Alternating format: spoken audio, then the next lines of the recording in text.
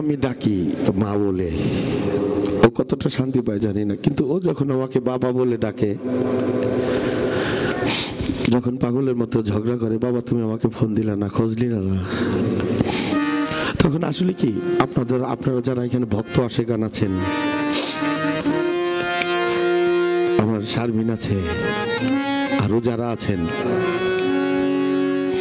যতদিন আমি ধরাধামে আছি যেন, আপনাদের মাঝেই এই অপূর্ণতাটাকে খুঁজে যেন আমার পূর্ণতা আসে। দোয়া করবেন আমি আবারও দরবারের পক্ষ থেকে আপনারা যারা কষ্ট স্বীকার করে এই শীতকে উপেক্ষা করে বসে আছেন, সবার প্রতি আমি অনেক অনেক কৃতজ্ঞতা জানাচ্ছি। সবার